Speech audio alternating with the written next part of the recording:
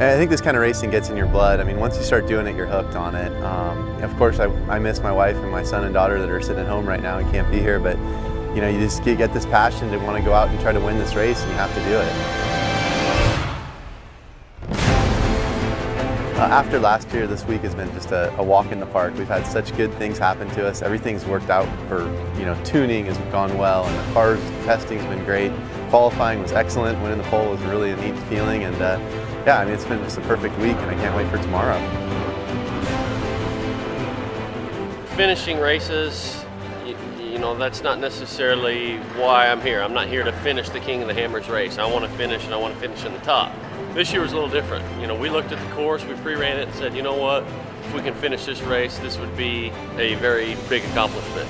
So to finish the race and to finish in the top 10, we were sixth place. Uh, I'm pretty happy with that. You know, obviously I'd like to have done better and had a few things go a little better throughout the race. Uh, but it, it was definitely an accomplishment to finish and finish well.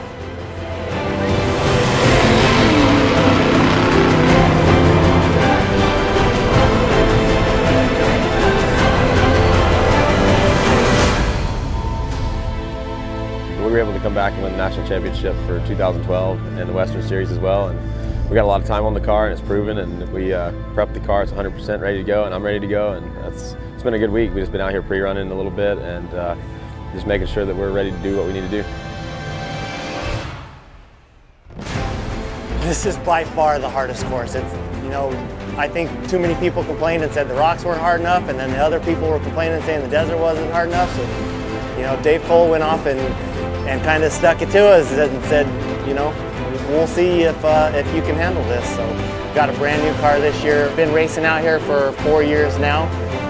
One, this is the biggest race of the year. We're having a great time. It's going to be a very hard test.